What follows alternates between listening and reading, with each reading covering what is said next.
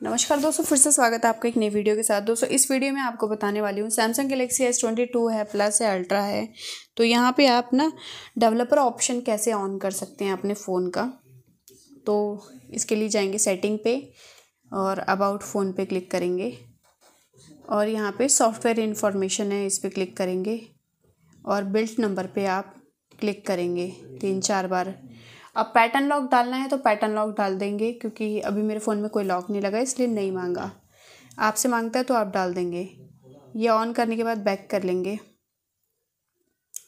अब यहाँ पे ये रहा डेवलपर ऑप्शन सबसे नीचे, आप इस पर क्लिक करेंगे तो ये सेटिंग्स आपको देखने को मिल जाएगी। सारी, जो सेटिंग करनी है कर लीजिएगा। ऑफ़ करना है ऑफ़ कर लीजिएगा।